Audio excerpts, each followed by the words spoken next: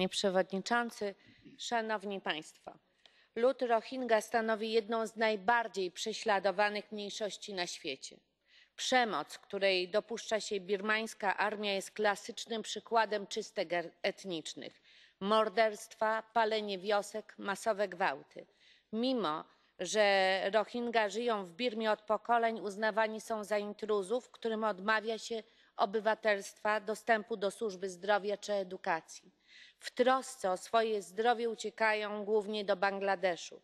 Jak podaje UNICEF, od sierpnia 2017 roku do kwietnia tego roku uciekło tam 693 tysiące ludzi, z czego ponad połowa to dzieci, a w 2018 roku 48 tysięcy kobiet i dziewcząt w obozach dla uchodźców urodzi dzieci, głównie poczęte w wyniku gwałtów popełnionych przez birmańską armię.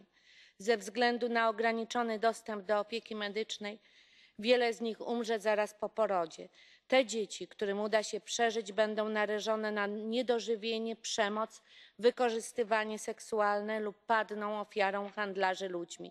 Należy położyć kres temu koszmarowi i jednoznacznie potępić wszelkie podżegania do nienawiści. Konieczna jest pomoc humanitarna i o taką apeluję.